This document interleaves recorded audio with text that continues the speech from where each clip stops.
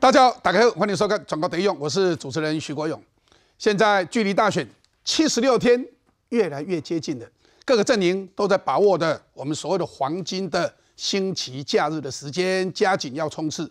今天国民党、民众党确定说明天上午要举行第一场的政党协商，不过侯友谊竟然不出席，为什么？因为蓝白要先谈立委的部分。不过立委的选情难道跟总统没有交集吗？如果有交集，他可以不出席吗？很多网友在问这个问题，来宾们会给大家来解答。不过，对于蓝白和赖清德今天提出一个有趣的说法，他说如果去问魔镜白雪公主那个魔镜的话，他会说中共最希望看到蓝白和，因为魔镜不会说谎话。所以在这里来讲，目前。多数人都把焦点放在总统大选，所以其实立委的选举虽然很重要，不过在跟总统大选在一起的时候，其实它是依附着总统的大选。虽然攸关国家未来政路的推动，所以大家看立委的选举，真的可以这样子在政党协商来谈就好了吗？难道总统的选举不必谈吗？所以传闻民众党现在要找曾经在中国担任政府。中央干部的一个新著名来当不分区的立法委员，引起了舆论的一阵哗然。赖清德他很担心，他说这种人如果未来进入国会和马文君联手的话，会不会影响我们台湾的国家安全呢？不过，民众党更令人担忧的还不止这一件，在高鸿安治理之下的新竹市，竟然在单纯的万圣节游行的时候。竟然黑影重重，有民众打扮成八家将，所以把脸画成了一些八家将的脸谱以后，竟然把一个政治提提款机整个围起来。那个政治提款机是要让小朋友去拿糖果的，就围起来以后，没有人进得去。有没有所谓的妨碍他人行使权利的妨碍自由罪呢？大家都在问。而这些人抽烟。嚼槟榔在公共场所，尤其旁边这么多小朋友，他抽烟嚼槟榔，然后整个围起来不让人家进去。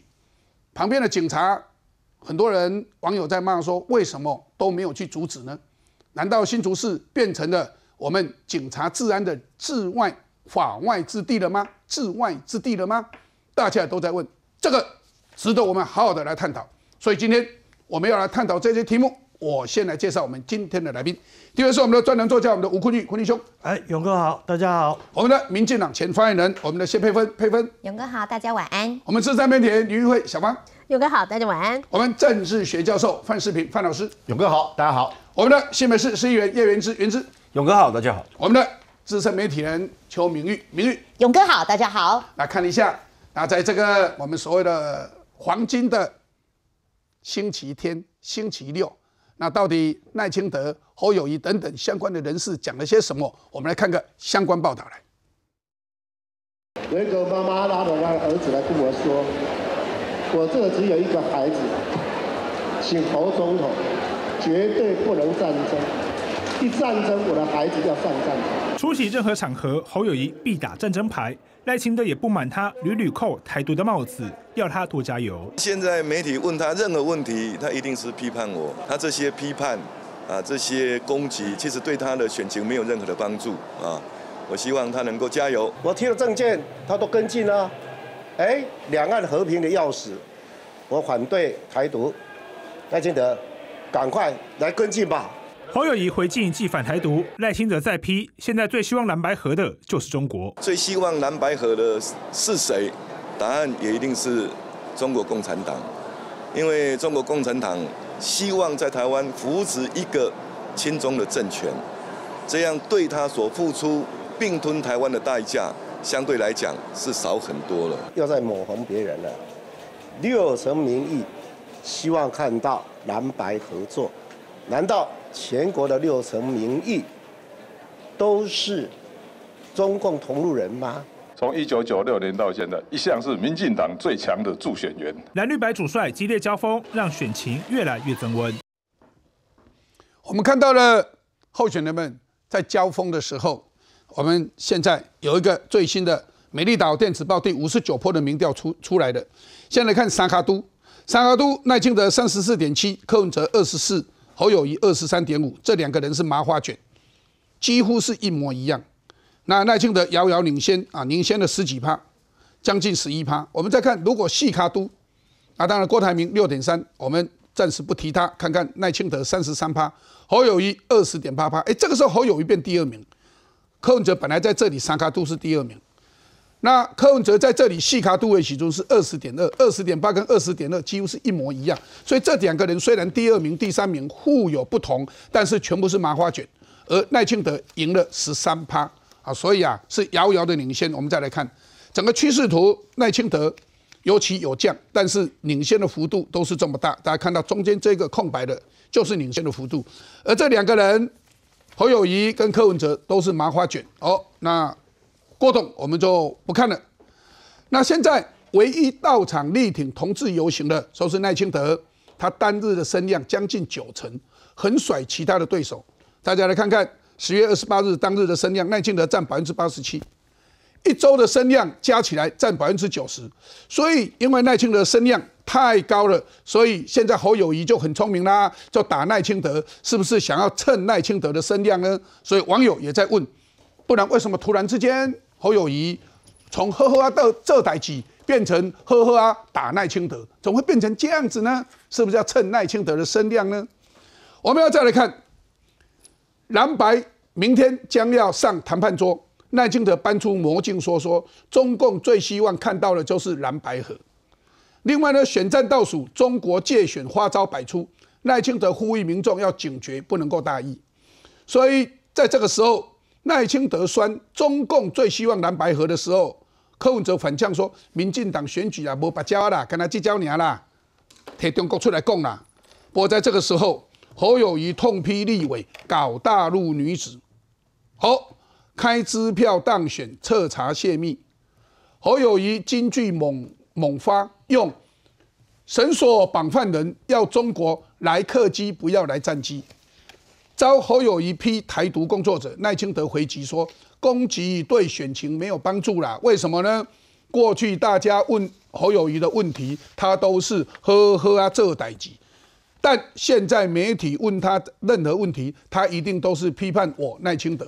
希望侯友谊啊能够加油，提出对国家未来发展福国利民的政策，一定可以多多帮选情一点啊。所以也在亏他，你在蹭。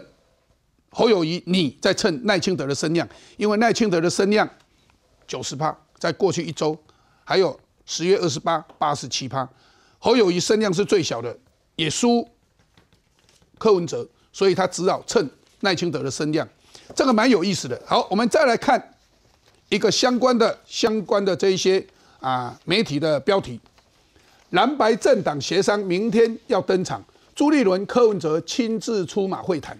哎，奇怪，怎么没有侯友谊呢？主席对主席没有侯友谊。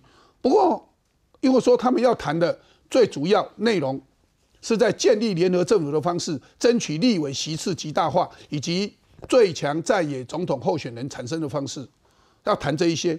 难道如果要谈最强在野候选人产生方式，那为什么没有侯友谊呢？如果要谈立委，难道立委的选举跟侯友谊无关吗？所以这个时候有一个人出来插花。那个人就是我们的老宋，我们的宋楚瑜，以歌声来比喻蓝白河。宋楚瑜说：“小心呐，你蓝白河不要被搞出脓包啊！”然后呢，宋楚瑜唱起电影的《秦兄记》的主题曲，并强调，如同歌词里面说的“世事难料”，蓝白河到底能不能谈成，也是世事难料。严格说起来。不是草包的问题，而是大家小心不要搞出脓包，让我们台湾真正出包啊！草包当然指的，大家在讲草包指的是谁？大家也了解。所以这个时候，宋楚瑜讲的这些话，尤其用脓包来讲说不要出包，哎，这个蛮有意思的。所以明玉怎么来看呢？我先讲哈，事实上赖清德说了哈，就说最全世界最希望蓝白合的是共产党哈，因为共产党一直想要福利这个亲中的政权，所以我认为明天的那个蓝白的那个协商政党协商哦，与其说是演给这个什么支持者看，不如是演给对岸看。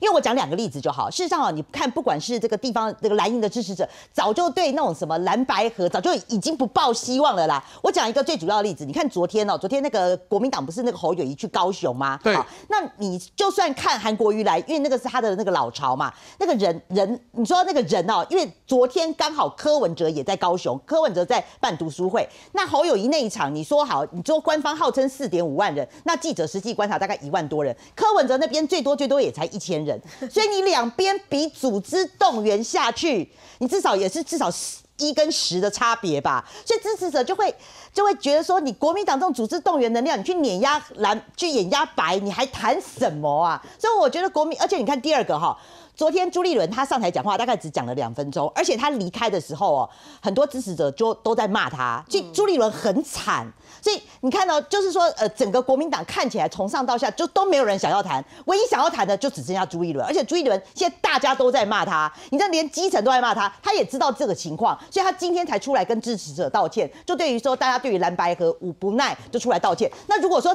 不是不是真的这么烂，那为什么朱立伦还要谈？那我先讲了哈，你刚刚讲到重点，主持人讲到重点啊，就说明天呐，这个什么国民两党哈还要继续政党协商，你看到讲了这么多哈，哇，但是呢，赫然。发现明天的这个谈判呢，没有主帅侯友谊耶？为什么没有侯友谊？哈，我今天有去问，我们还是要讲一下国民党的官方说法了哈。他们的官方说法为什么没有侯友谊哦？因为第一个，他们认为说前阵子啊，那个黄金对谈，黄珊珊跟金普聪对谈都已经谈崩了，基本上就已经。没戏唱了，崩掉了，就崩掉了，崩掉了，破局了嘛，就破局了嘛。所以呢，这个朱一伦就跟侯友谊讲说了哈，那那个反正这个反正黄金对谈就崩掉了，那不如就退一步，让政党协商，让党对党来谈谈看。但是呢，国民党官方还是要继续强调，就说呢，哦，这个诸侯呢是完全没心结的，侯友谊呢对于朱立伦的细节呢是知之甚详。所以明天呢，你看哦，九点三十五分重头戏在这，九点三十五分到十点半是双方会谈，是不公开。的，就我了解了哦，这个会谈的话，只有朱立伦跟柯文哲两个人，没有别人。没有别人了，顶多就是带记录进去了。那我也很好奇啊，如果说你没有别人，那出来大家你讲你的，我讲我的，那就说立功北财，挖功北财，阿立被安呢阿昭会不会有人偷偷录音呢？啊，对啊，那会要要跟徐小新借吗？我不知道啊，对，所以这个也是蛮妙的。而且哈，你看哦，他们谈到十一点完之后，为了要证明朱跟猴没有心结，十一点四十五分，朱立伦跟侯友谊还要再加开共同一场记者会。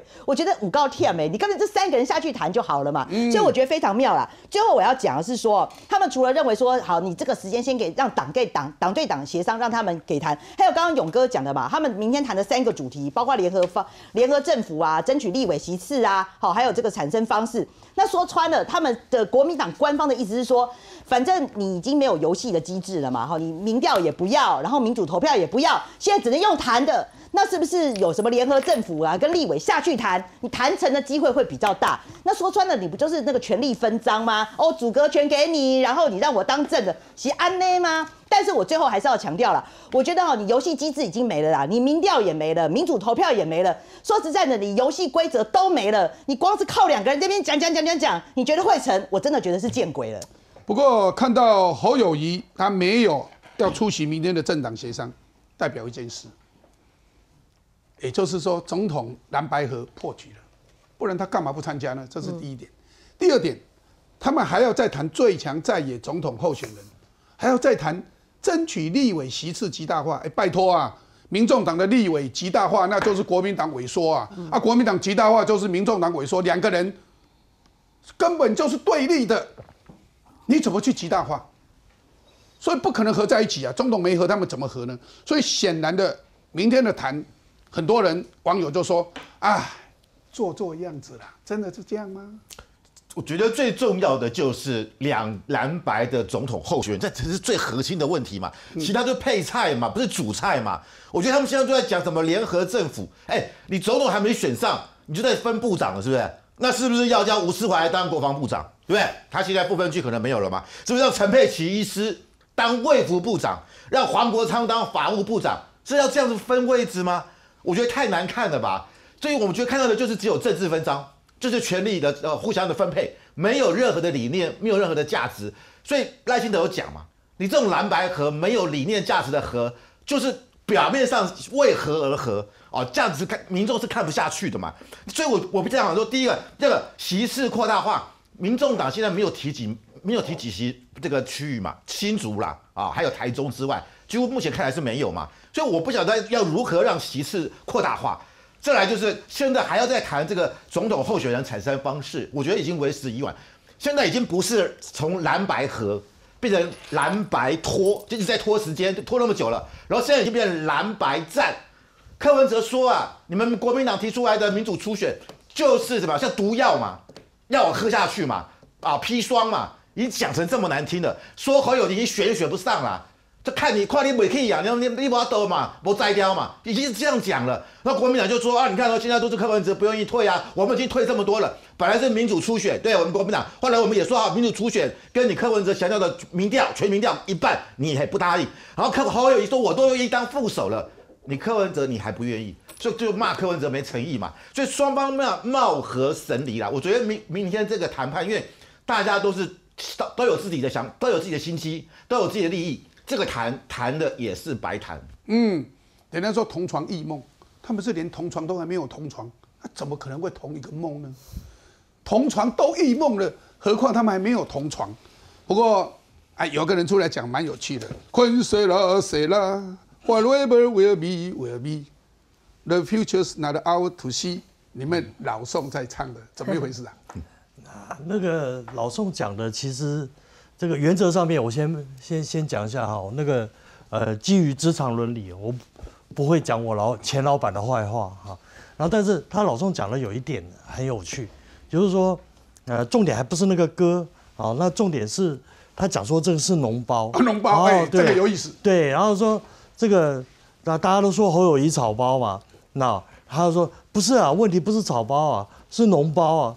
那草包的话捅破了也就捅破了。那大家都知道它里面是草而已，脓包会流出来，它有毒啊啊！你不捅破也不行，啊，你不捅破的话，脓不挤出来会会会尿毒症，啊，脓包是谁？会变败血症。脓包是谁？哎呀，脓包是谁？啊，脓包，呃，他没有讲谁啊？脓包应该是两个人，为什么？那台语我要解释一下，什么叫脓包？咱台语恁捌听过有几条瓜叫金包银不？金包银，脓包就是金包银，外面是因为它结。结诶叫结结扎啊，不是结扎，是结疤。嗯，结疤了以后，那个疤是黄色的，就是金嘛。嗯，里面脓是白色的，是银嘛。嗯，啊，那个脓没有挤出来，那个是不会好的。所以金包银，有金有银，大家一讲说哦，这最棒了。结果是脓包，金包银，脓包，所以有金有银，两个。所以他其实在在点这个事情啊，然后你就你就看他那个最近呃宋先生一连串动作嘛，哈，他就。呃，先去发表一本书啊，讲说省府团队好，这个公门好修行，然后说省府团队做多少多多多少事情，怎么样做，他也有期待，比如说现在的执政者啊，那你能够参考一下当年有些做法，但是回头一讲就讲到这个事情了，那就对比啦，啊，你现在这个那柯文哲你也做过八年台北市长，然后。你这个谁？这个侯友谊现在还是新北市长，哈，结果你们有把事情做好吗？没有嘛？大家说你是草包，那那个现在现在连这个两个人这么简单的事情，然后或者是大家要谈的这个事情，你都谈不好，啊，把大家的那个那个心情都都弄到谷底，那你不是脓包是什么？金包银。所以啊，脓包指的是两个人。哎，小芳，你这样懂了吗？哈，懂懂懂，对，就是要调出讲脓包，这是谁？上个礼拜，上个礼拜我刚刚讲到蓝白河，上个礼拜有上好几个节目的时候，都发现他们他们那个新闻台大概都跟我讲，就是他们那个新闻在播的时候，播社会事件啊，播以色列啊，嗯，都还有几千个流量，只要一播到蓝白河，啪，只剩几百个，那就。大家哎呀，而且是比较天然的电电视台或者什么东西，都还有这种状况。那那个意思是什么？就是包括连泛蓝或者是或者是所谓统派的支持者、非绿的支持者，那大家都对这件事情已经不抱期望了。TVBS 做的这个民调也是这样子，那说百分之五十八的人，那事实上是不对蓝白河那有抱任何期望了。对，那你在这种状况下面，侯友谊还可以睁眼说瞎话，那不是脓包是什么？所以啊，我为什么解释脓包？其实脓包哈，台语就是讲的金包银啊。哦，所以大家了解说金包银的意思，不是讲说它是一个金子一个银，不是，不是金子跟银子。不过有一有一件事蛮好玩的，刚刚明玉提到说他们在高雄造势，国民党大概一万多个人，民众党一千多个人，对，哇，超告追，但是超告追。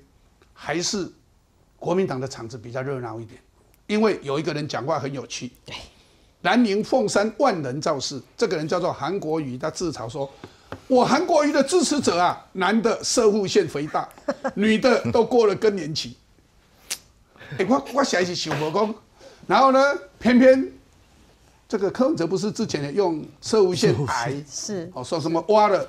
啊，反而会死，不要挖，还可以和平共存。对。不过我印象中，我看过一篇啊医学上的十大癌症的报道里面，哎，射物腺癌是十大癌症里面第五大癌，排行第五了。我的印象是，我假如我记错没关系，大家 Google 一下哈。我是用我以前的印象讲的。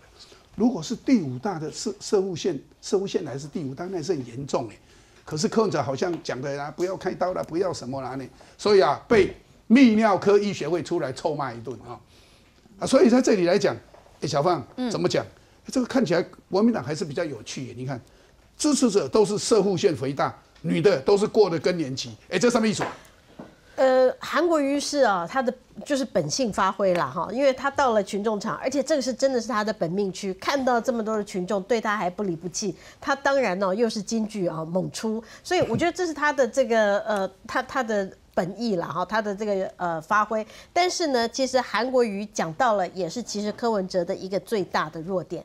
其实昨天你看在高雄，不管韩国瑜这个场子有一万多人、两万多人，或者是国民党所称的四五万人，这个现场你空拍机看，人是真的不少。除了说侯友谊讲话，那个后面人就当然就不见。可韩国瑜在讲话的时候，人真的是很多。可是以柯文哲的那个现场，如果只有一千多人的话，柯文哲你凭什么去跟人家要求？你说你要呃要去什么什么呃要去谈你是正的，然后人家侯友谊是负的，甚至于你还要指定。这个总统、副总统的候选人是谁？你不可能嘛，因为你的这个组织盘是真的差很多。但我为什么说韩国瑜啊，他也向这个柯文哲在兵力展示？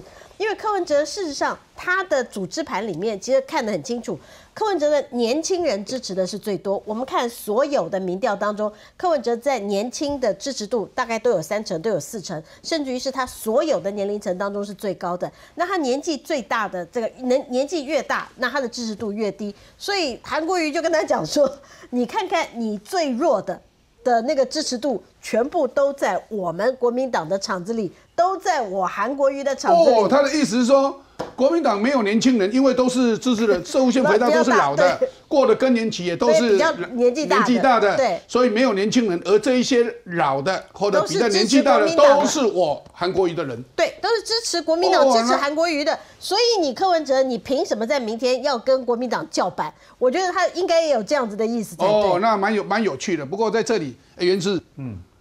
啊，你想喏，那也可以讲解上面的射物腺肥大，尤其柯文哲提射物腺癌，比喻两岸说硬挖除硬挖除的话会死更快，啊不挖就不会死吗？泌尿科医学会发声明很打脸，哎，这个时候又好玩了。结果韩国瑜说，高雄子弟百分之八十毕业后都会离开高雄啦。侯友谊加码说，啊，高雄这五年来啊，面临人口严重流失啦，都非常的差啦，薪水低啦，能源与什么产业都等等问题的。结果高雄市政府就狠批打脸两个人，怎么狠批呢？给大家看。好，这内容我就不讲了。哦，他讲的这些，我刚看看看。这几年六都的竞争力，陈其迈第一名，经济成长。高雄第一名，青年失业，高雄最低，招商高雄最成功，负债高雄减减少了一百零零六亿，其他都没有什么比高雄差太多了。基础建设高雄基础建设一堆，他们根本就尤其韩国瑜在高雄的时候完全停建，社宅韩国瑜的时候零，陈其迈盖了一点八万户，一万八千户，韩国瑜执政的时候通通是最后一名。哎，怎么还好意思讲？人家这这数据，哎，不会偏让啊。那个数据有一些也是会挑自己的啦，这个大家在那个政府待过都知道了。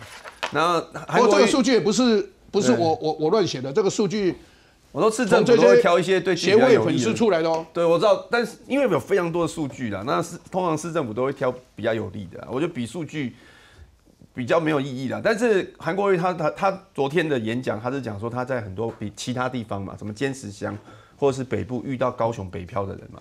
所以高雄北漂也是事实啊。其实其实啊，坚持乡很多原住民因为在山上工作机会少，他们本来就要去都市的啦。所以用这个来讲，坚持乡，挖工出经验，因为我当过内政部长，我知道，黑无道理啦，黑真无道理。那马英九的时阵啊，甚至在两两蒋时代，其实他们都已经下来工作了啦。嗯所以才会台北市跟新北市才会有那么多原住民的地方嘛，对吧？打个怎样嘛。然后然后那个。什么社护线？我觉得那就韩式幽默了。他说，他就开个玩笑，说基本上哦，他也不是说全部都是的。然后他的支持者全部社护线伟大，也不是。他就啊，怎么我的基本上一个自嘲一下。你支不支持韩国瑜？我支持啊。啊，所以你也是无限肥大。他说基本，他说所以他说基本上啊，他说哎呀，怎么？所以你是在基本外的，是吧？对对对，他是开他是开一个玩笑啦。我我觉得大家都太严肃了，他开一个玩笑。然后再来就是说，我觉得赖清德让我蛮讶异，就是其实他现在已经躺着选了啊，选情这么稳。还要用抹红那招？民进党，民进党等一下就会反驳你。其实那个民进党进的做过行政院长，做过副总统，好好的诉求政绩就好，做得好大家就会认同啦。然后老是把共产党搬出来说什么共产党最希望蓝白合，所以大家不要投蓝白合。这抹红，这个我我蛮讶异的啦。我觉得他就有政绩就好好诉求政绩就好了。等一下，民进党发言人也要跟你反驳一下，你们再去对打一下。不过我们先进个广告，再来看看。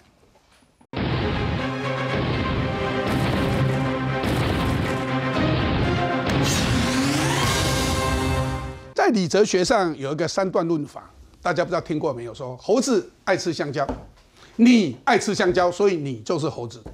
所以你韩国瑜说支持我的人，男生都是社会性肥大，你支持韩国瑜，所以你就是社会性肥大。支持韩国瑜的女生都过了更年期，你支持韩国瑜，所以你就是过了更年期。哎，这个三段论法没有错吧？理哲学就是这样子嘛，哈。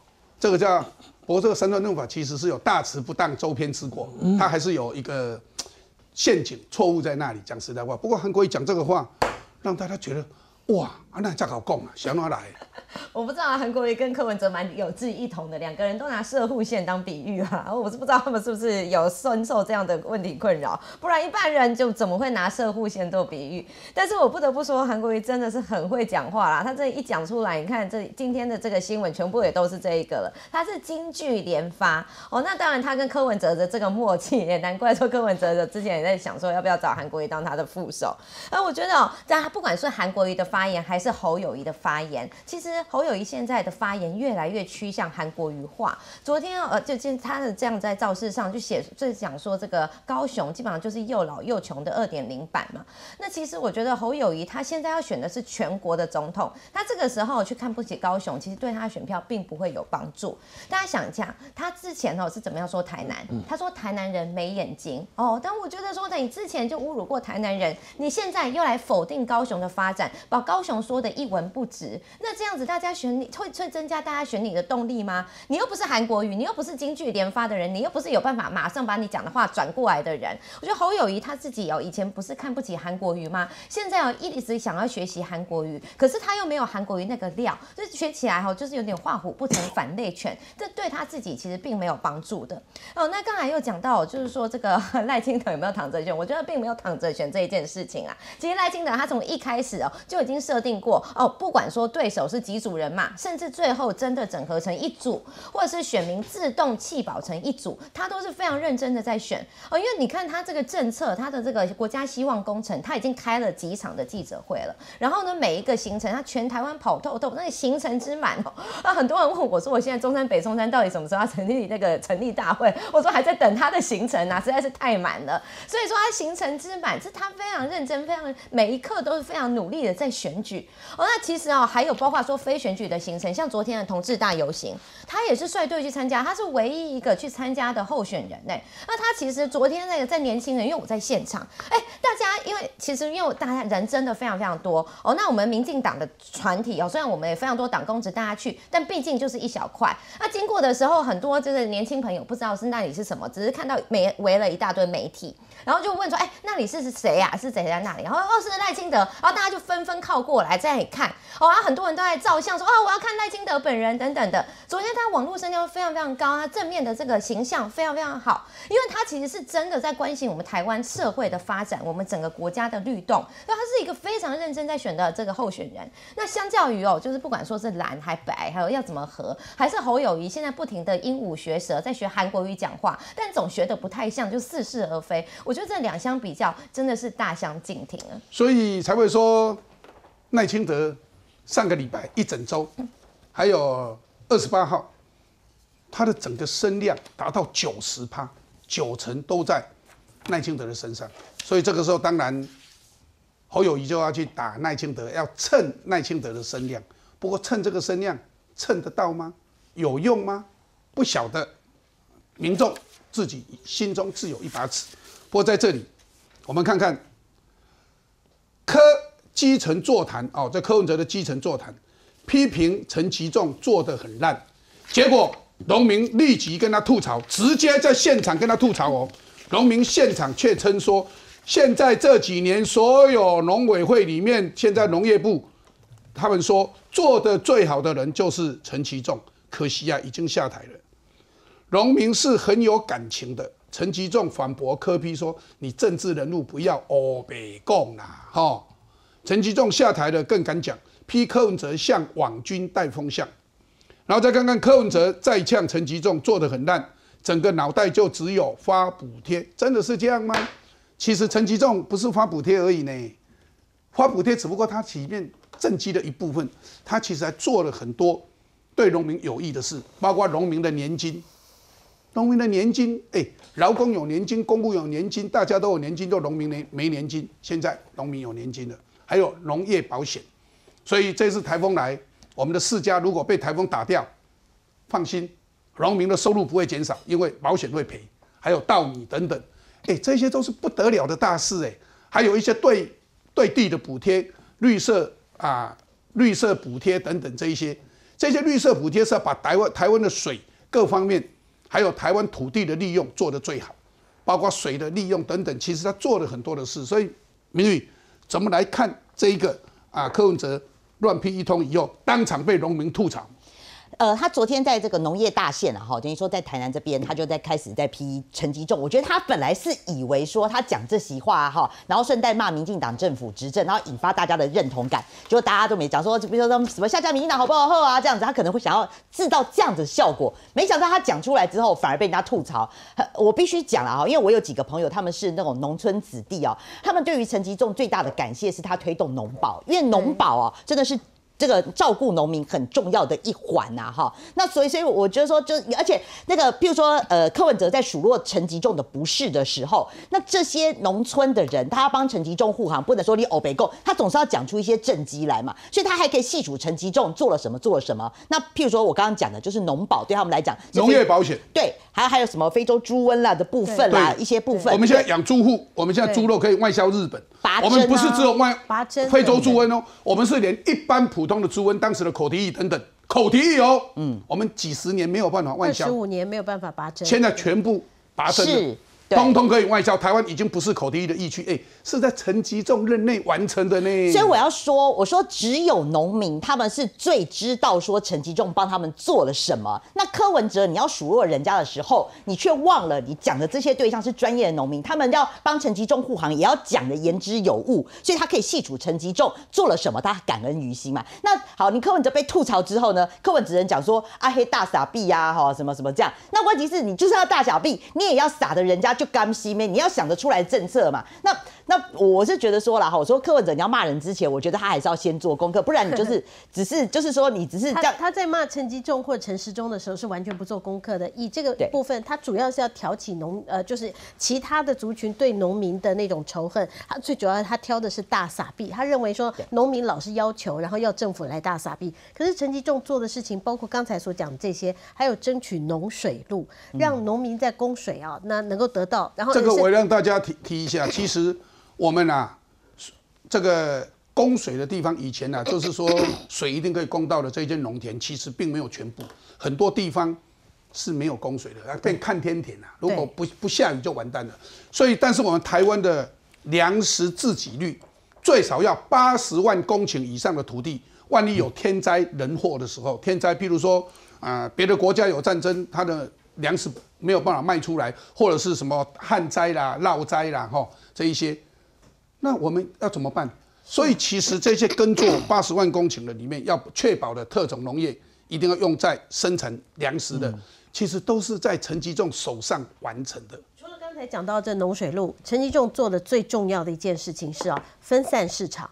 过去台湾的农产品很多都跟中国有契作，然后都是跟中国往来。那陈吉仲在担任主委后来的部长的时候，他把台湾的农产品卖到美国、卖到日本、卖到韩国、卖到欧洲，所以他建立了冷链的系统，让这些冷链的系统可以呃，就让我们的这个农产品能够有更好的一个品质，可以销到这个国外。这个才是他做的真正啊，对于农民来讲，真正最重要的事情，不是补助。柯文哲你就鸡毛蒜皮，你只看到那个补助，难怪哈他在做台北市长的时候，他砍的也是他不愿意给老人家补助，因为他就是抠门，他认为说钱。反正放到口袋里的都是我的，我不能够给人家。农民也是一样，所以如果选柯文哲当总统的话，他也会把所有的补助全部都给暂停。这个就是柯文哲。所以看到柯文哲在骂陈吉仲，结果他在农民面前骂陈吉仲，农民当场就跟他吐槽，他是做的最好的，而且啊如数家珍把它念出来，尤其农业保险，因为我们以前碰到台风来或者是大水一来，我们的稻米被淹掉了，那农民有我们政府会给他一点补助。哎，拜托个农民了十万啊，结果补助能办，因为政府补助总是优惠嘛。我们现在变成保险，农民只要付这些一点点保险费，万一台风来把你的农作物全部吹到都没有收成的时候，对不起，按照你平常可以赚多少钱，有多少收入的，我们的农业保险就要赔你。还有农民在耕作的时候，万一受伤，已经有赔不？讲台语甲丑陋就等于狗无赛啦，嗯，爱自己付。现在农民在耕作的时候，万一受伤，公告拍天啊，马巴鲁农民就雷公，因为电的问题，哦，因为有一些，譬如说他斗笠上面有个铁圈，结果被雷电打到的时候，对不起，现在通通有赔。这种农业保险通通赔，以前是没有的，这也是陈其仲做的哎，嗯啊，所以啊，我看哦，人咧做这啊，这柯文哲，逐项拢毋知，啊，黑白批评，无怪叫农民吐槽，啊，所以有人讲农民甲吐槽拄啊好尔尔。休一下，咱来转来咱的节目。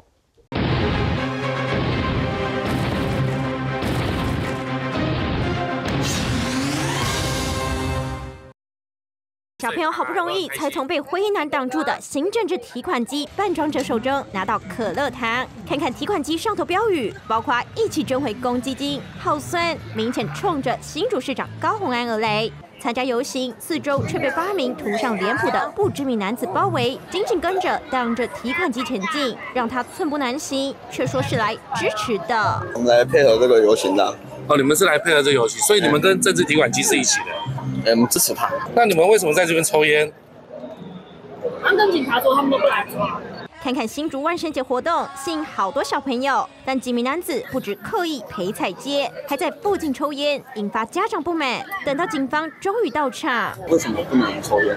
这边是在马路这么这么多人，你现在是要包庇你朋友吗？你要我你现在对你朋我盘查你朋友什么意见吗？吸烟男子经警方带回勤务处所盘查，发现未满二十岁，装扮提款机人员，透过现场陪同的友人向警方表示，其并未遭受不法的侵害。强制罪是一个非告诉乃论之罪，不论提款机的变装者是否要提告，我认为检警调都应该即刻加以调查，依照法律规定，现行犯必须立刻逮捕。警方说法，律师出身的新竹市立委参选人林志杰听不下去，名嘴李正浩也呛，警察局长张素玲是吃素的吗？质疑难道执法标准是看到一个普通人走在路上被八位黑衣人包围超过一个小时可以不作为？呛张素玲，你可以下台了。为何新竹市警察局竟然不敢法办，而且还发新闻稿来护航？这群黑衣人是自发来参加万圣节活动，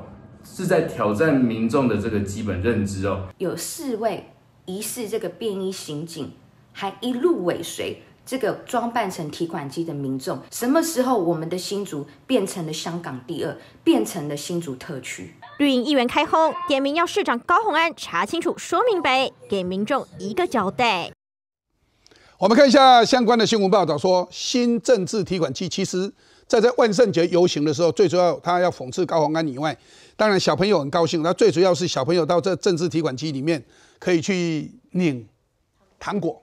那万圣节本来就是 trick or treat，本来就是给糖果，不然我就捣捣蛋的一个啊活动嘛哈。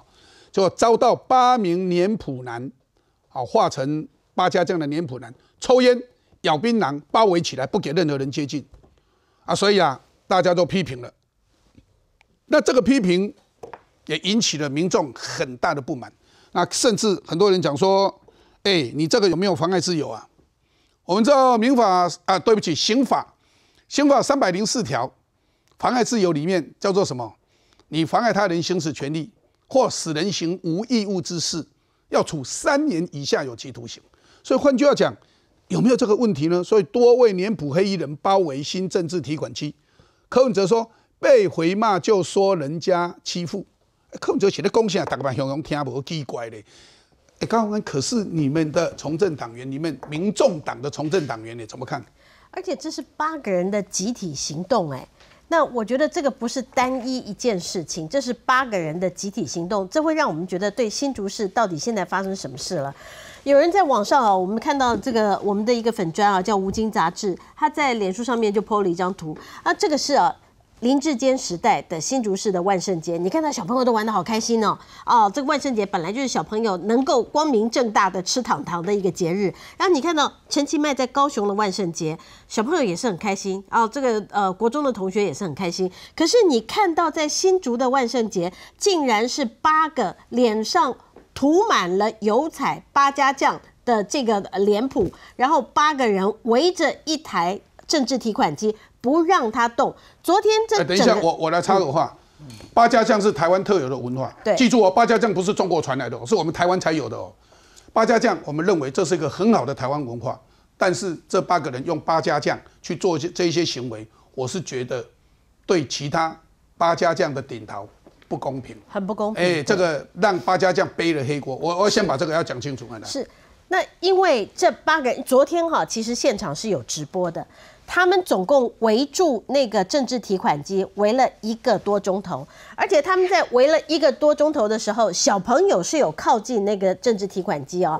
那你看到这位八家将，他不但凶神恶煞的，他那个很很凶的脸孔，啊，他你看手上拿着兔胚啊。就吐杯了哈，就是吃槟榔要用的吐杯，然后手上还抽烟。他更可恶的是，当小朋友靠近的时候，他竟然是把抽了烟，把烟喷在小朋友脸上，让他的爸爸是非常的生气。你为什么可以这样子做？那接下来这位呃警察局的局长，我想请教你的是张素林局长，因为昨天有非常多的警察是围在这八位哈呃的的旁边呢。那一开始的时候，有很多的家长是跟旁边的警察他说：“哎，他们这样子限制了那个政治提款机的行动自由啊！那为什么警察都不做处理？后来警察终于做了处理，是因为其中有一个成员他吸烟做处理。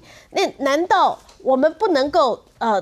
警察难道在现场不能够多做一点积极的处理吗？那我相信我们主持人过去做过内政部长，那这个这个我觉得是一个非常扯的事情。为什么新竹市的新竹的这个警察局长跟新竹的警察为什么会在面对这样子一个应该是很欢乐的活动，竟然他们会做这么松散的一个防护？这到底是出了什么事？新竹市长，你是不是也应该要出来做说明呢？所以高鸿恩对这件事情让民众非常非常的生气。显然的，你我们看看前几天高鸿安说要优先保护孩子，原来指的是这群黑衣人的护主为士。哦，这个杨林仪议员就讲了，林志杰呢，哦，他是新竹市的立委参选人，他说高鸿安竟然要求万圣节变装禁止手持敏感标语，服装不得夸张，否则均要被收证回报，让人真是惊叹与爱国主义教育法管制人民思想的精神非常一致。因为爱国主义教育法现在中国现在正在如火如荼的在啊在推行，而且还想把台湾包进去。哦，里面就把台湾包进去，所以黄帝颖说，民众装扮新政治提款机是具政治意义的象征性言论，所以这是宪法保障的言论自由的范畴，竟然惨遭黑衣人包围威吓，新竹市简直沦为法外之地。看下呢，我觉得这个林志杰竟然啊，他说出来了，这个高鸿安说，在这个万圣节，如果有人一穿手持敏感标语或者服装，如果是夸张的话。要收证处理，哎，请问一下，什么叫敏感标语？对不对？这个没有标准嘛？所以我们看，这叫做不确定法律概念，不确定法律概念嘛？怎么可以这样无无限上纲哦？对，对不对？那什么叫做服装不得夸张？什么叫夸张？那我也可以说你高安那天的穿的衣服很夸张啊，这也没有标准嘛。而且万圣节本来就是自由发挥创意嘛。我我我昨天也经过那个呃捷运站啊，在那个圆山那边，哦，很多年轻朋友各种奇装异服上了捷运，大家看看就觉得哎莞莞尔一笑嘛，会觉得很好玩嘛。所以我觉得为什么要用这个方式来控制言论？而且你竟然要你的警察去收证哦？那你是新竹市长，你有办法用这个用这样的一个理由去要求警察进行相关的收证？那请问我不愿意被收证可以吗？那你该去收证你不收证？这八个黑衣人你不收证，让他们在那个啊政治提款机旁边恐吓那些家长跟小朋友，因为小朋友看到会害怕嘛。刚刚小芳讲的说，那年轻人抽烟以后对着小朋友这样喷出去，对，喷烟啊，这个离谱到极点。对，这甚至我觉得违反了烟害防治法，当然当然违违反嘛。而且这个使人行无义务之事，哎，人家为什么要吸你的烟？对啊，为什么要吸你的二手烟？这委通嘛，警察小朋友要去领糖果，你不给人家领，你有没有妨碍他人行使权利？这显然都有刑法三百零四条的问题。哎，三三百零四条是要主动侦办的。哎，旁边有警察，你不要告诉我旁边没有警察，警察就在旁边。那为什么警察不制止？警察可以把那个路线给它扩清嘛，让小朋友可以去拿糖果嘛。他去拿糖果不是拿政治标语，不是拿高安下台，哎，没有，哎。人家只是用一个表演的模式，对不对？也没有直接用政治的语言，所以我觉得当场的警察应该去了解这些人你们的身份，起码我怀疑你，我可不可以调你的身份证，或者我我可以了解你的背景，他们是谁派来的，是什么组织派来的？而且我认为这个有现行犯的问题了。有，如果是妨碍他人行使权利或者使人行无义务之事，去吸你的二手烟，我没有义务吸你的二手烟呢。对啊。所以显然的。这个有没有刑法三百零四条？那如果有的话，那就是现行犯哦。我当然现场要去做相关的判断，怎么会这样子呢？原子，哎，啊，这个这玩意修理破啊吧？对啊，对对对，真的离谱离谱。那警察的回应也很消极，因为警察回应是说，因为现场没有肢体冲突，也没有言语冲突，所以不能怎么样。但但是有个像地方啊，有一些流氓啊，他们怎么跟地方要钱？有个工地。他们就一堆人在那边吃槟榔什么的，然后哎又晃来晃去，哎他也没有怎么样，也没有肢体冲突，也没有言语冲突，可是工程就没法进行啊，所以就变成说那个工地的人就好像就要必须要跟他们妥协。其实他他们的这个抽烟瞪人家、烟喷人家、吃槟榔咔围住，本身就是一种肢体的动作了。嗯，对，所以其实蛮消，其实是消极的。我觉得这种不可长啊，不然大家以后。看谁不爽就在旁边这样弄来弄去，然后不不去接触，言语不接触，然后肢体不接触，然后就没事，这样不行。然后第二个是，我觉得这些人他他应该看起来是高安支持者嘛，那你们也不要去侮辱八家将嘛，因为勇哥刚刚讲八家将是台湾的民俗文化，其实它是一个很好的东西。但是如果说每次都跟那些八家，为什么现在网络上大家说八家酒，就是很多那种刺龙刺凤流氓的都都办着都跟八家将连结的话。也会让大家对这个民俗产生不好的印象所以两件事情我是觉得很不可取。但但我也觉得政那种一般的亲子活动、政治活动、政治人物不宜去啊，我觉得不宜啦。因为为什么呢？因为政治人物难免会有争议。像我来讲好了，我平常到很多地方也很受欢迎，因为我都与人为善嘛。但是也有人会不喜欢我，对不对？就是这个政治提款机，你去那边，有人跟你要糖果，喜欢你，但也有人会不喜欢你。那那种游行就就让他们亲子好好的玩嘛，就是政治的东西就不要去，去了就很容易引起争议。所以我是呼吁了，就下次如果说有那种政治嘉年华去都都没问题，嘲讽好笑都 OK。但是像这种一般的民间的庆祝的活动，尽量政治就尽量少介入。其实万圣节哈，本来就是大家都会参加的啦。不管在美国，的万圣节是从英国来的啦，好，大家知道从英国来的。嗯，那他是因为白天跟晚上交接的时候，他认为说，从今天开始，十月三十一号开始，然后这个昼短夜长，晚上越来越长，啊，这些鬼啊，也趁这个机会，他们当夜长的时候要把它带走，就啊，因为带走鬼会出来嘛，啊，怕怕影响你，所以你就装扮的跟鬼一样，鬼就会以为说那同类，所以他就不会去侵犯你。所以为什么说为万圣节它有很多意义，蛮有趣的。不过本来这个就是政治人物通通会去的场合，大家都高兴的一个场合嘛。啊，所以那公界喜尊怎么来看新政治提款机新竹市发生的这个事？那个就是民众党执政的结果啊。民众党，对不对啊？不是民众党啊，不是民众不是糖果的糖，是堂口的糖。对啊，堂口堂口执政嘛。那堂口执政当然是你看我们那这个大姐头。当市长了，对不对？然后，然后我们这些这些八加九大家都活过来，那然后，然后警察也不太敢管，对不对？那警这个这个这个事件产生到现在，其实那个警察是有问题的，好，很有问题。那那有些时候那个警察在执行勤务的时候，其实我们以前在南部的时候也看过，比较乡下的地方也看过。然后这个执政的是呃国民党的，然后那个民民进党的人。那他就比较会去处理，然后国民党就比较不处理，啊，然后然后换了民进党执政以后，然后那个那个民那个那个民进党在闹事，他就不处理，然后那这这个以前都有过，我觉得这个警察他很多事情他因为他的标准很难处理，哦，就是但是像这种事情他已经是妨碍到人家行动自由了。那这种事情，他就警察就应当要下手处理，至少要跟他跟个八加九吼一下，哎，你没塞啊那样，那你至少要要要警告一下。像有的分局长就很凶悍啊，我碰过那个分局长啊，你知道他看到这个状况啊，他们有时候不太甩警察，要要碰到电话讲啥，你知道？我跟你讲哦，过了今天修度也丢，结果那个那个那个那些兄弟哦，哦，修度也丢。就以说了，对这个，所以警察有时候修图也丢，这句话没有什么嘛。他不见得要当场抓你，但是警察他绝对有这个权威嘛，哦，然后他他他可以弄你嘛，然后呃这个这个就是因为警察或者是这些东西，他他觉得他们这个这个这个怎么讲，市长是他们自己人，至少这些八加九觉得市长是我们自己人啊，那那我这警察就不敢动我，他才敢这么嚣张啊。那那个警察不动手下去的话，他其实是有亏职守。所以我要建议这些分局长，还有这些局长，当你发现有这种状况的时候，因为我们的局长他是两个指挥系统，一个要由警政署，另外一个就是县市政府的首长也可以指挥他，所以他会痛苦的时候。我稍微我我想讲一下，我觉得这个高宏安，我我先把这个讲了。他会痛苦的时候，很简单的一件事就是什么？请求中央支援。哦。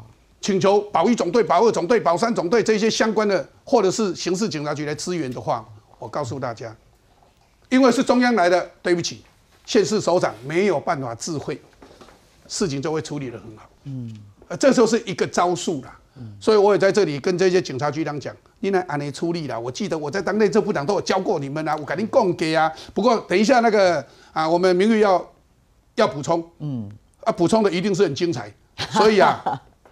妈妈的心情，妈妈的妈妈的心情，所以千万不要转台，我们马上回来。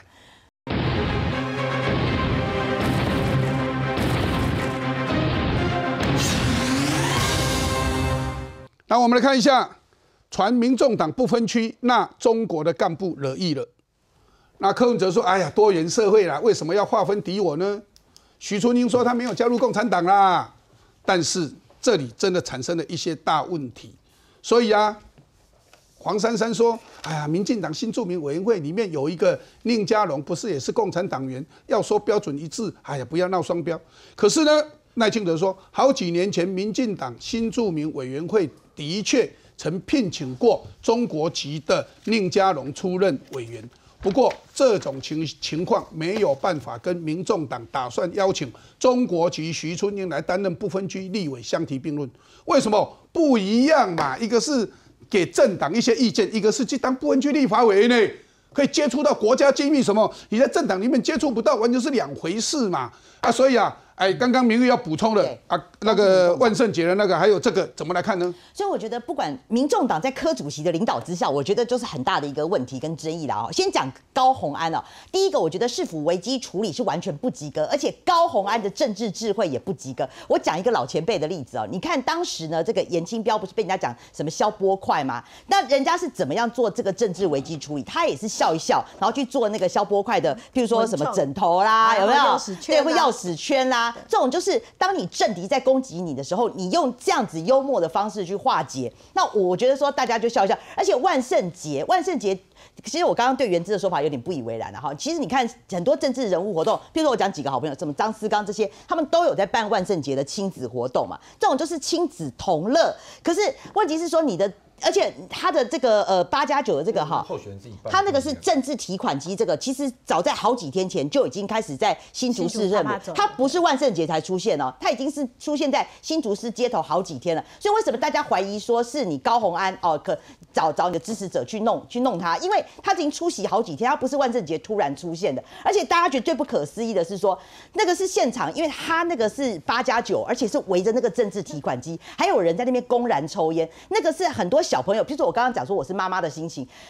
有是有人报警，所以警察才会来。可是你警察竟然可以在那边袖手旁观一个小时，你可以看这些黑衣人围着那个政治提款机。然后我我觉得要是说家长在那边一定会觉得说，起码这是怎么回事？所以大家会把新竹市比成高潭市。现在警察来了，结果警察来了一个小时，你都不作为，那我觉得当然大家看不下去嘛，哈。那再来回到我是说，就是说啊，你说这个什么呃，我觉得下歪楼了，上也歪楼。当然从柯文哲开始嘛，徐春英这件事情啦，哈，到现在为止。柯文哲他还他的他今天回话还讲说啊，不然就让徐春英变变看啊，变得过，看他变得过变不过。我觉得哇，现在这个徐春英是已经涉及到国家安全的话题了耶。当然我可以理解，就是说徐春英他现在要他为什么要提徐春英？他最主要还是看深蓝选票嘛，就他自己的这个政治精算，他觉得徐春英的背景，如果再加上中配什么小孩啦、配偶啦什么的，至少有一百万票嘛。而且他看准了国民党不敢骂他嘛，因为徐春英以前就是吴吴敦义时代。就是在吴敦义的一个什么新著名的工作委员会啊？那我要反问，而且又可以讨好中国，是不是？是，所以中国会更高兴哦。柯文哲好棒哦。对，所以我觉得他很厉害，他政治算计。他第一个就是觉得说徐春英提名徐春英，他可以去至少抢得这个，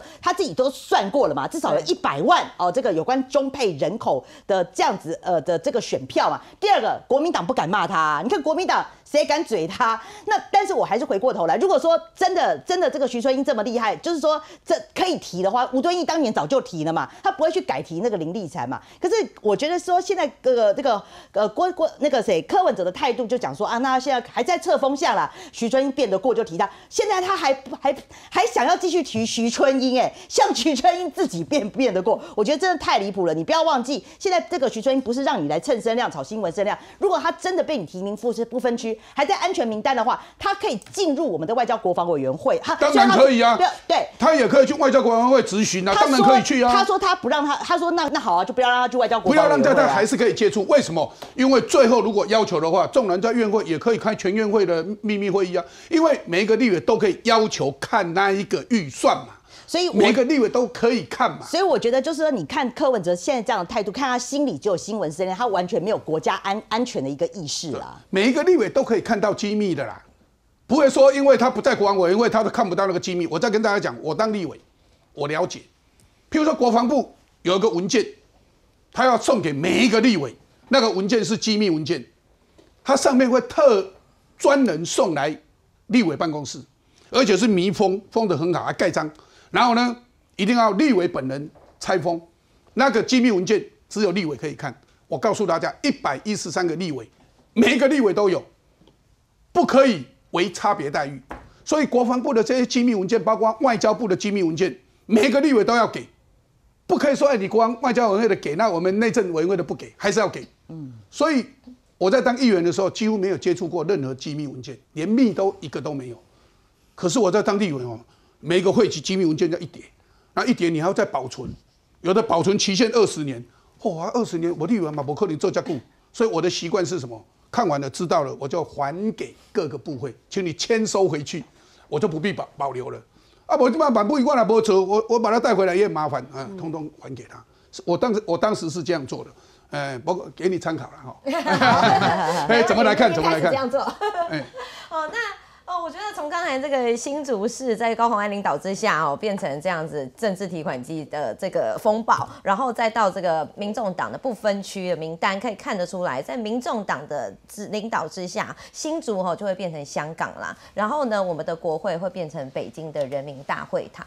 哦，其实这个民众党在柯文哲领导之下，已经变成非常的又红又黑，反正就是不是白色。我觉得这其实是一件让人家觉得非常遗憾的事情。那尤其像现在有提这个。徐春英、柯文哲第一时间，他其实就没有出来否认嘛。他其实的说法是：哦，我是很务实的人，那个中国的配偶在台湾有非常非常多人，所以我需要提一个人。哎，你可以提一个人，但你为什么一定要提一个背景这么红的人，这么跟共产党有着千丝万缕的关系的人？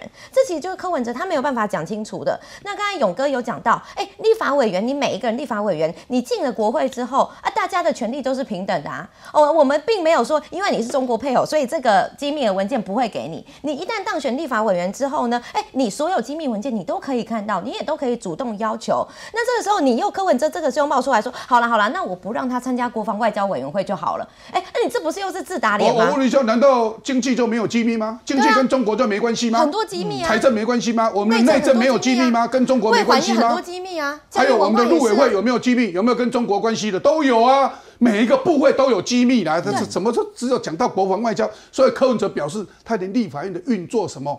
他完完全全连一点 sense 都没有，完全不懂，也真的是也有一点就是浪费了柯文哲的民众党哦，在立法院寄生了这么久，竟然对于那个立法院里面每个委员会都会有机密，每个委员会都是同等重要，并不只是国防外交委员会才会处理到国家大事这件事情，他竟然一无所知啦。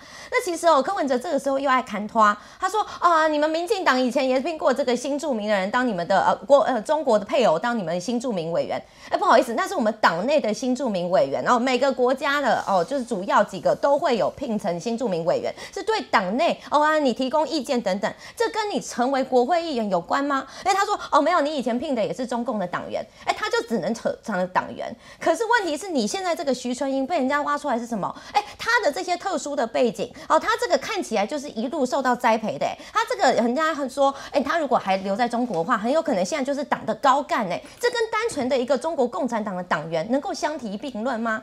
那柯文哲每次遇到事情都不能好好的解释，不能好好的面对，一定要去扯那个民进党，然后扯起来又是不三不四，这是更证明了说民众党哦，现在成为民众党，甚至呢让人家觉得说白色现在怎么看起来越看越红啊，甚至越看越黑，这是柯文哲现在让人家觉得非常非常困惑、非常疑惑的地方。所以看到了柯文哲这些动作，而且他说让子弹飞，意思说徐春英啊。这件事让子弹飞一飞啊！啊，我们到时候再来照样提名，或者让他自己去辩护啊，自己去辩辩得过就让他当。然后还讲了让我无法接受，因为我当过立委，我知道。他说哦，不，只要不要让他参加国防外交就好了。啊，请问他参加经管会重不重要？经管会有没有多少机密？经管会机密也一堆啊，内政部有很多机密。为什么？因为我们有内政部有两个情治单位、国安单位，一个叫做警政署，一个叫做移民署。这两个都是国安单位，哎，经济部有多少？经济部他们的政策的机密，财政部有没有？到处都是啊。所以外交国防不是只有外交国防才有机密的。我讲实在，我在当议员的时候几乎没有什么机密，没有任何机密。但是在当立委，机密真的是一堆，每个礼拜几乎机密文件都来。哦，当然几乎都机密。哦，当然极机密的那就不会给你看了，也不会用公文来的，可能就是直接开会告诉你这样。所以我让大家了解说，每个立委都会接触很多机密了，所以这一这一点大家要这个 sense 要了解。那为什么柯文哲没有这个 sense 呢？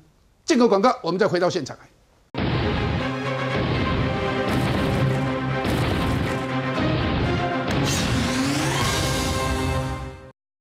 中国前总理李克强位于安徽合肥的故居外，除了花海环绕，也挤满悼念民众。毕竟这是目前唯一一处当局允许民众可以放心悼念李克强的地方。李克强只是在这个环境下一个悲剧性的人物，他有有功有过，也是一个完美的人。在这个体制内，只能说他算是一个老百姓没有恶感的领导人。李克强二十七号传出过世后，北京当局立刻祭出各种维稳手段，不止网络上只能搜寻到官方认证的内容，不准过度赞扬李克强。各大学也接到命令，禁止群聚悼念。十月二十八号到十一月三号，中国是直接禁止举行公开活动，明显就是声恐再度发生六四事件。很多人并不是说对李克强有多怀念，但是可能会借这个机会表达一些对生活不如意啊、工作不如意啊各方面的一些不满的情绪。可能在学校里面会有一个学潮，特别是北大、清华的这些人，借着这个可能会有一些活动。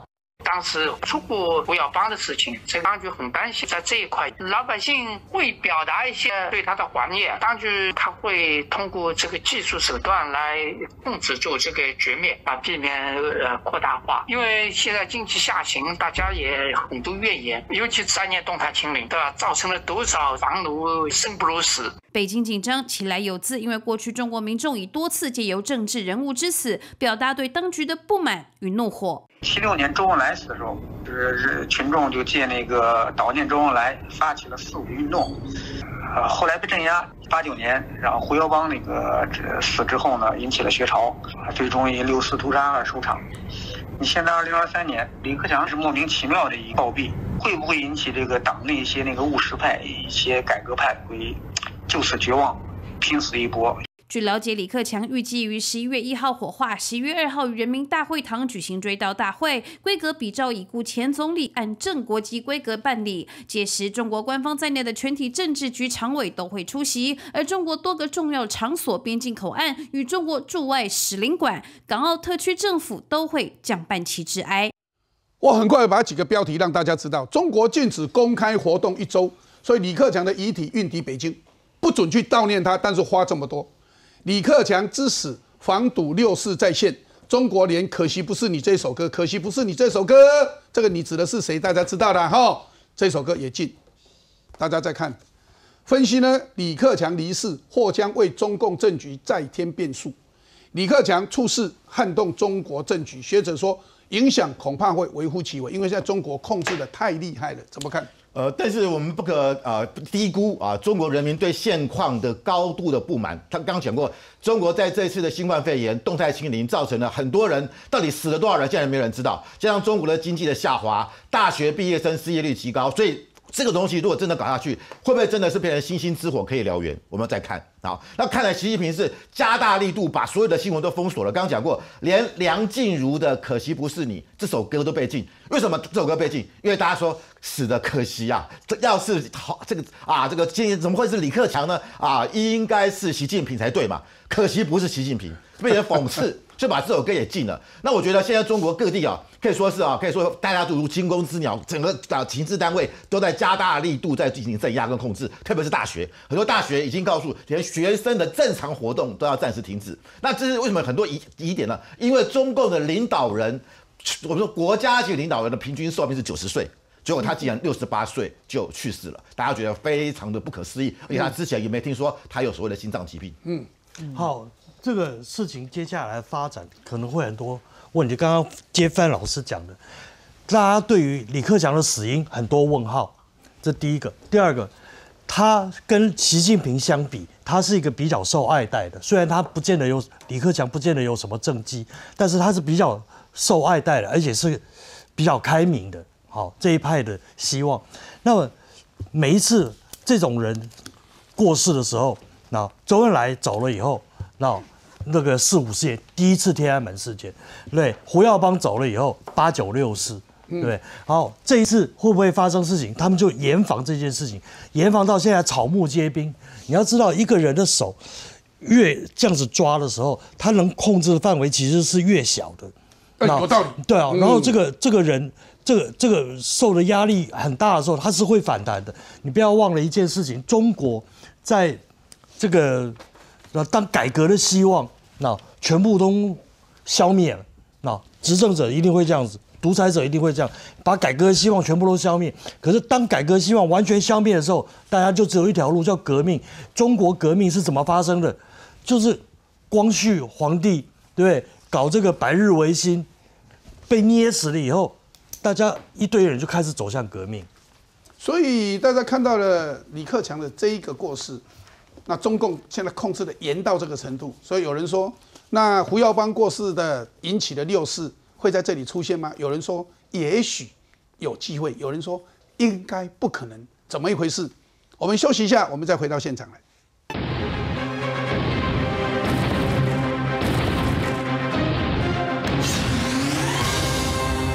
在李克强去世的时候，拜登要见王毅，下个月拜习会可能会有机会有谱了。然后呢，拜登哀悼李克强，中国的官方竟然提都不提，哎，这个很奇怪，为什么提都不提呢？这个会不会影响到台湾跟美国，或者是有关台海情势的相关的问题？明玉怎么看？先讲了哈，就李克强这件事情还是很多的疑点哈，包括就是说，因为他是心脏病发哈，那。大家可以看，就是说李克强从来也没有听过说他有任何心脏的疾病，而且如果说他这个是心脏病，好突发证证明说他可能是心肌梗塞啊，或者是说有什么动状冠脉堵塞啦。当然我们不是医学专家，可是按照常理来判断了，他如果说真的是心脏病这么严重，严重到说会心脏病发，然后就是梗梗那个呃心肌梗塞的话。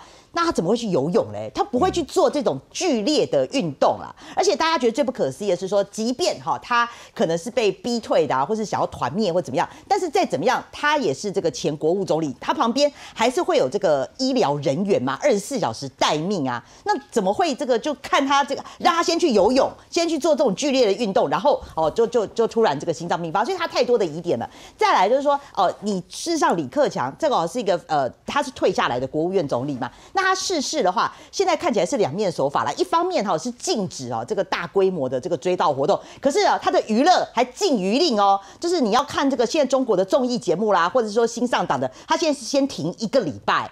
所以，我我觉得，但他就让你，比如我表面上啦，我禁娱令、限限娱令，我就让我让你一个礼拜就是不要搁那个什么歌舞升平啊，不用那个这边唱歌跳舞。可是问题是，他还是禁止这个民众大规模去悼念。所以，我觉得他就是做做也是只有做一半啊。嗯，不过比较大家觉得很诡异是，拜登哀悼李克强，中国的官方都不提。哎，啊，这是在变相放看，哈呢？林玉姐刚才说，这是整件事情，李克强过世很诡异啦。其实不只是李克强，最近的中共政局整个都很诡异。应该说，你如果长期看起来的话，其实中共的高官，有人发现说，很少是在医院里面病逝的，他们都是突然间就在家里就过世了。哦，可能突然间就跳楼了，突然间就心脏病发了。那但我们不知道说是不是中国那里的风土啊、民情等等的有这种突然间就会在家里比较容易出事。然后呢，这些高官很少看到他们是生了病去住院，然后呢医疗之后没有办法医，然后过世的。其实中共的这个高官呢出事之后呢，是呃出事的原因是一个问题，出事之后这个官方怎么对待又是另外一件事情。我们看到李克强他好歹在这个呃表面上哈就。官方的这个职衔上也中过做过中国的第二号的人物，结果他出事之啊，他过世之后是怎么样子？哎，一片晋升，好像不可以提这个人，不能说出的名字，这让大家觉得很奇怪啊！哎，你通常这个政府的高官过世之后，你如果没有降半级，你好歹也有一些哀悼的仪式啊。哦，人民大家如果说去缅怀他，哦，去纪念他，这不是代表说你这个政府做得很好吗？你这个官员很受受大家的怀念。哎，结果怎么发现说，哎？官方一片的不谈，甚至连拜登、连美国的总统都要去跟你关心哦，就跟你说，哎，去跟你慰问。结果官方还是照样不谈。那可以看得出来说，习近平领导下的中共，他也不是以前的中国共产党，好歹也会好几个人一起决策。现在完全就是他自己一个人说的算哦。不管说是你那个胡锦涛，我就可以直接把你哦从这个大会上给嫁出去，还是说我国防部长、外交部长说不见就不见，说消失就消失，说辞离职就离职。然后完全不给你任何原因，这是中共整个的集权呢，现在越来越这集权越来越夸张。那很多人就说，是不是会导致六四这样子？学生或者是年轻人或有志之士，大家为呃以李克强作为一个借口去悼念他，然后再发起一场社会运动或政治运动。从现在的中国的这个气氛看起来是很困难啦。哦，因为六四那个时候的一个气氛就是，哎，中国开始要对外开放哦，经济等等的开始要有一些改变，有一点松动的可能了。可是我刚才跟大家讲的是怎么样？习近平现在领导之下，在中国它是越绑越紧哎，大家看到现在这个爱国主义、这个洗脑主义只是越来越强。前不久，甚至在中国的这个学校里面，哎，学生演这个舞台剧、话剧，竟然把安倍晋三那受到这的枪击，哎，就是倒下的那一幕演出来。他现在是非常控制整个国家的思想。你说这个时候的学生有年轻人有志之士，还有办法出来借由这样子哀悼李克强来进行抗议，来进行他们政治诉求吗？我其实是蛮悲观。